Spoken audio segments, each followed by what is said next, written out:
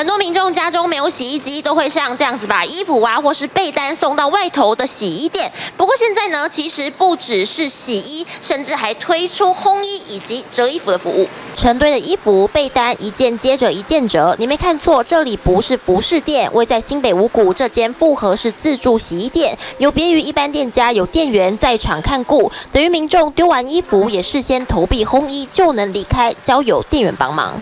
洗衣服真的很烦，折衣服更烦。如果小孩子没有吵的话，至少要一个小时；如果是冬天的话，基本上要两天才会干。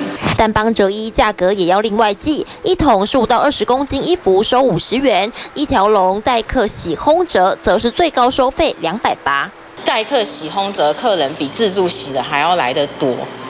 对，这带动整体业绩要三到四成左右。还有另一间的复合式洗衣店更狂，也就是呢，你来这边洗衣服之后，还可以到旁边来边喝咖啡边吹冷气等待。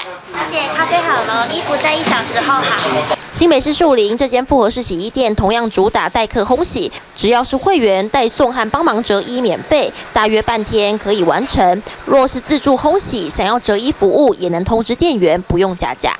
结合了咖啡店之后，其实在业绩上面也是表现的还不错。是因为洗衣的时候，他们同时也会想要吃个呃点心，还有云端服务，随时查看洗衣状态，洗好时会通知领取。进一步比一比各式洗衣店服务，一般干洗店只能送洗一件计价，可帮折衣，但大多不能当天领。自助洗衣店方便快速，但无人看顾，较没保障。复合式洗衣店可自助洗，也可代客洗烘折，但大多店家折衣服要另外收费。洗衣店花招越来越多，方便民众，同样也是要用新噱头带动来客量。音乐新闻，王祥张慧贤，新北市报道。请支持专门报道国际新闻的全新 YouTube 频道 TVBS 国际 Plus，扩大视野，掌握趋势。邀请您订阅并且开启通知小铃铛。